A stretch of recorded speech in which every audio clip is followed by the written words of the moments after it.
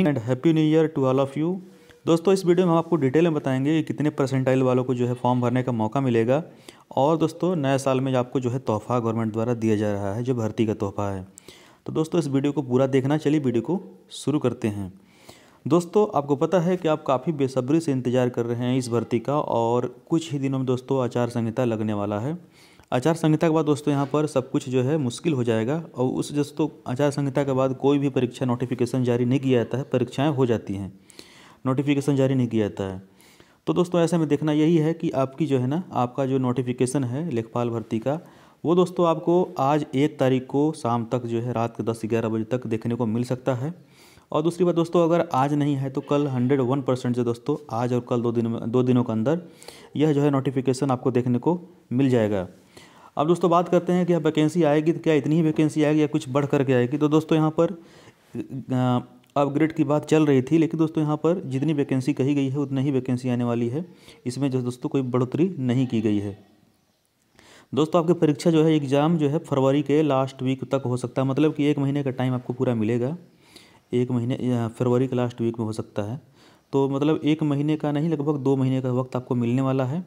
आपको पता है कि एएनएम की वैकेंसी आ चुकी है नोटिफिकेशन भी जारी हो चुका है, करीब नौ हज़ार के पद आसपास हैं, जिसकी परीक्षा छः फरवरी को होगी, ये भी डिसाइड कर दिया गया है। दोस्तों, हम बात करते हैं कि यहाँ पर परसेंटाइल और कट ऑफ़ क्या रहने वाला है, जिस, जिसमें आपका सिलेक्शन होना है। बहुत सारे छात्र हैं जिनके पास, जिनका कट ऑफ़ या परसेंटाइल काफ़ी कम है, वो काफ़ी निराशा में हैं कि उनको जो है मौका मिलेगा, इस भर्ती में भी नहीं मिलेगा। दोस्तों बताते हैं, अगर आपका कट ऑफ़ जो है पचास से ले ऊपर है, पचास से लेकर दोस्तों ऊपर है तो आपको जो है मौका ज़रूर दिया जाएगा। उसके नीचे दोस्तों कह नहीं सकते। बाकी दोस्तों विभाग खुद इस बारे में बताएगा, नोटिस जारी करके उसके ऑफिशियल वेबसाइट पर। जहाँ तक मेरा मानना है दोस्तों, पचास से ऊपर वाले सभी को ले लिया जाएगा, क्योंकि फॉर्म सबको भरवाना जाना है और शॉर्ट लिस्ट किया जाएगा विभाग द्वारा अंत में कितने लाख बच्चों को इसमें फॉर्म के लिए आवेदन कराना है, कितने लोग को शॉर्ट लिस्ट करना है।